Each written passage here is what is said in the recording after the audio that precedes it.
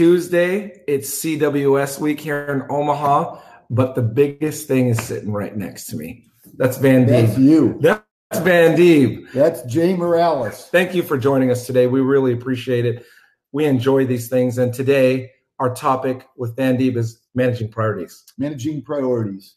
You know, sometimes when we make these agendas, we we think, okay, what should we do this week? What should we do this week? I think this was perfect for this week. Yeah, I think this is this is something we all need reminded of, and hopefully, we're going to give you some great tips today on managing your priorities, and also at the same time, we'd like you to send us questions or your comments, and uh, we'd like to visit with you about managing your, your priorities also. So absolutely and, interactive. Oh my goodness! And there is a typo, but that's okay. So, Van, um, we're going to start it off. Some people say, I'm so busy. I'm doing so many things. Uh, and, you know, you ask people, how are you? Oh, I'm so busy. Yeah. It, that drains me when people answer mm-hmm. me like mm-hmm. that. I get it too, but mm-hmm. how can we help those people? Well, everything, Jay, starts with a to do list.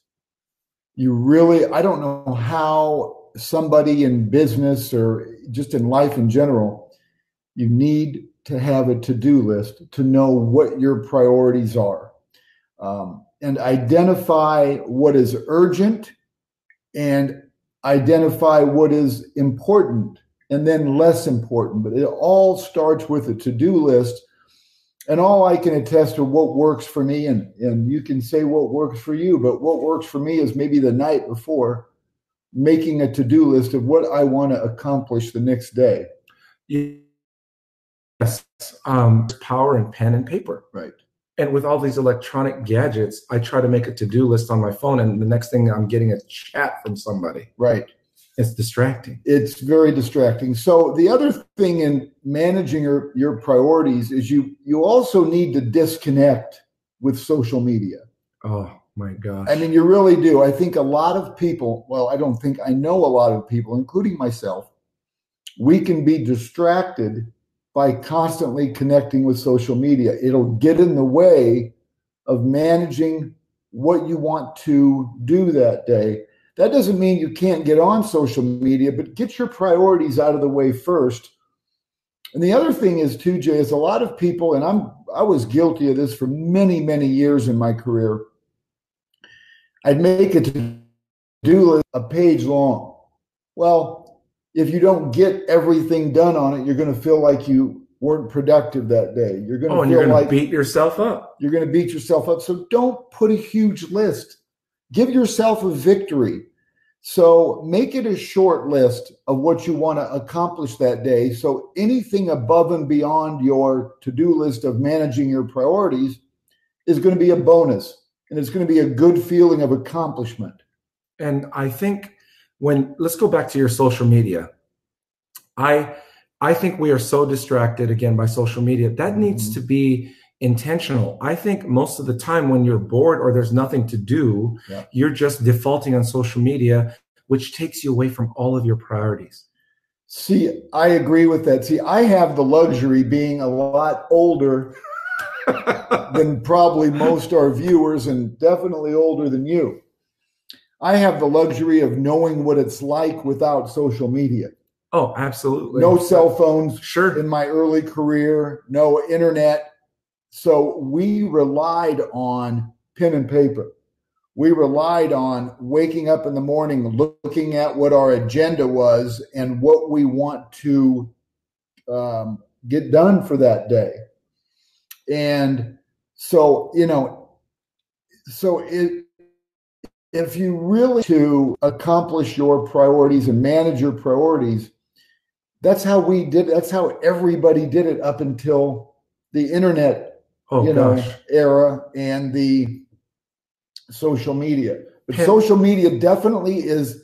It's helpful there's no question. I mean, I so is cough syrup, but if you have too much of it, right, it's going to make you sick. That's right. That's right. But so social media is important for a lot of us in business. Social media is important. You know, I sell my books on social media.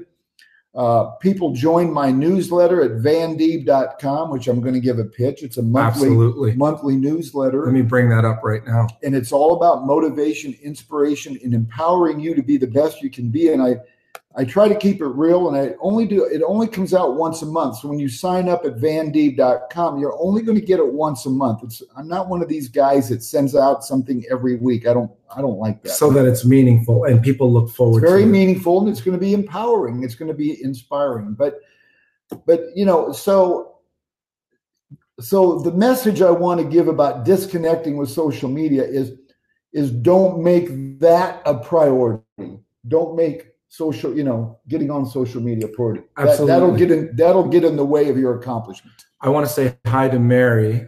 Uh, Hi, Mary. So, Mary, thank you for joining us. Mary says uh, on the screen, great advice. And if you want to make comments or you want to have questions, we'll bring you right up on the screen. Van, right back to it. Let's talk about pen and paper and these productivity apps and computers and all these CRMs and all these amazing things that sometimes can be distractions. right But the pen and paper, like you said, disconnect. Put yourself in a room or in a quiet place and write down what's really important to you. Yeah. I think 90% of the people out there intend to do that. right And then when they actually do it, they're not being efficient with No. it. Like you said, 12 things. You only do three things. At the end of the day, you beat yourself up. exactly What's important to you? So here's the greatest thing about managing your priorities is let's say that I ask you today, Jay, so how are you at managing your priorities? And you respond, I'm not good at it. Right. Okay. Well, that's something we can change today. Right. You can wake up tomorrow morning and say, I will no longer say I'm bad at managing my priorities. Because if I say that, I'm going to be bad. Absolutely. Yes. Exactly. So you can start tomorrow morning by by managing managing your priorities by creating a to-do list and you know like I say make a to-do list accomplished. Don't put 20 items on there, put 5.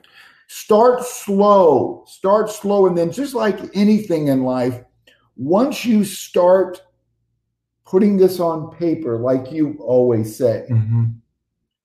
it will become a discipline that you'll start doing maybe the night before your workday. Right.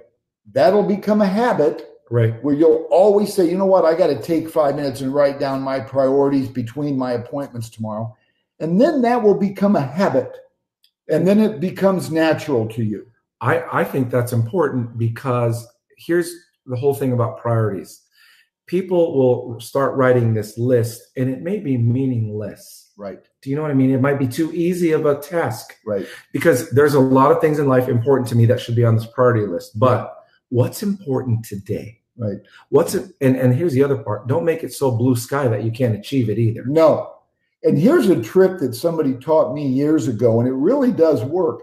Is you may end the day going, gosh, I've got a list of nine items that I wanted to accomplish today. And they can be large and small tasks. And they only accomplish four. Well, here's a trick that somebody taught me is start at the bottom.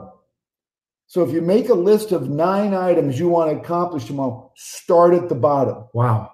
because it's going to be mentally challenging to say to yourself, well, I didn't get items one, two, and three done. hmm And it, it, it, it really does work. And cross them off.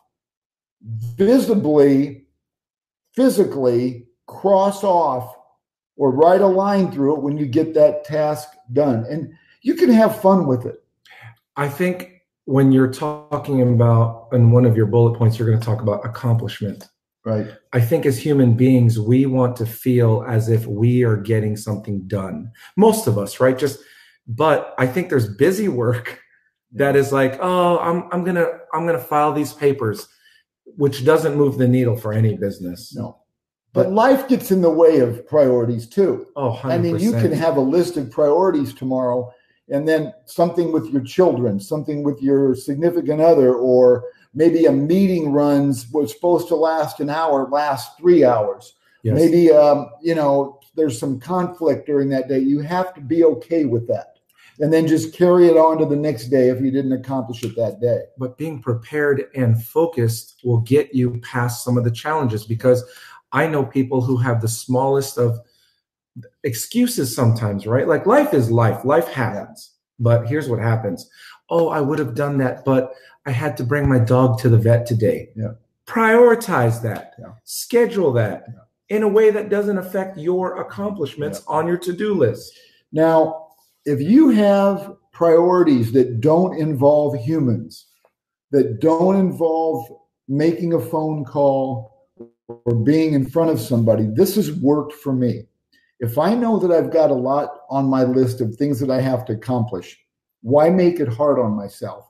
So instead of starting my workday at eight, why not start my workday at seven Right. and spend the hour getting these little priorities out of the way before I start talking to humans, before What I start talking to customers.